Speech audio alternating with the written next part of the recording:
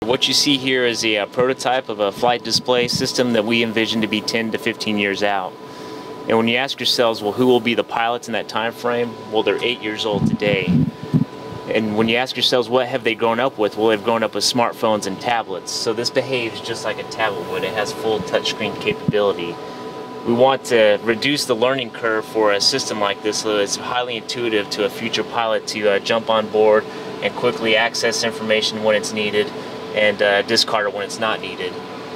So what's driving all these visuals is is really PDAS technology, F-35. So what you see here today, we could quite frankly do today.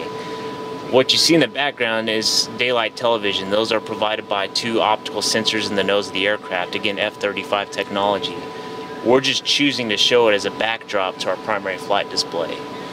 So here, if we're flying this aircraft in real life, we'd have this mountainous terrain, uh, and this urban environment beneath us is again it's just a backdrop to uh, to the primary flight display.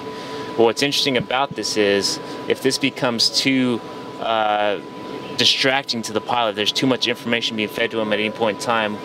Well, keep in mind this is just a digital representation of information the aircraft is already receiving. So if he wants to declutter down, they can go to something like this. It's just a digital representation of the information the aircraft is already receiving. It's how do you want to interpret that information. Again, you could go to a, maybe a little bit more fidelity where you keep the screen predominantly dark, but you have uh, synthetic vision as a backdrop to your primary flight displays. You could do something like that. Or if you're flying at night and you want your imager to provide low light amplification, NVG in this case, uh, we could do something like that as well. And you can also have your imager provide you a midwave IR or a FLIR type display or a fused solution which combines low light amplification and midwave IR or even a synthetic view of the world.